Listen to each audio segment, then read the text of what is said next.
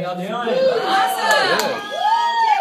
It's good to be here. Guys, my name is Jacob Rakowski, Sapphire going, going Crown Ambassador. I'm based out of Emmanuel Bernstein's team in Houston, Texas.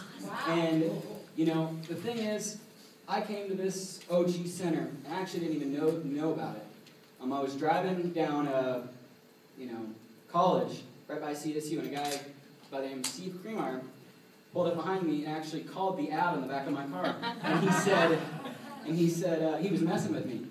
And um, I actually was so I actually handled it so well that he was like, "Wow." So uh, you know, you know the Loveland train, the Loveland Training Center with the Nielsen's. I was like, "What?" I was like, "What are you talking about?" And then he goes, "There's a training center about 15 minutes up the road in Loveland." And I was like, "I've been driving 75 miles every single day to Denver twice a week to go see Rod Smith." So I'm so blessed to be here. Um, these guys have absolutely no benefit um, in terms of OG business of actually opening up their center to me. And I don't know if you want to, you know, work with amazing people, um, better yourself, make more money in this profession than in any profession anywhere, you know. But um, this is the place to be.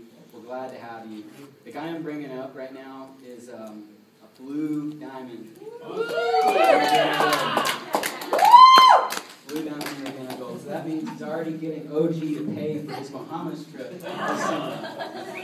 Casey, Deanna, and Steve, this is their center. It's the second largest in the world behind the one in Houston, Texas. And uh, you know, the guy I'm about to bring up is an awesome guy. He he knows how to break this thing down so simple that a fourth grader could understand it. Um, you know, he's got an awesome family, and um, you know, without him, I wouldn't be where I am today. So I want to go ahead and bring on Mr. Steve Nielsen.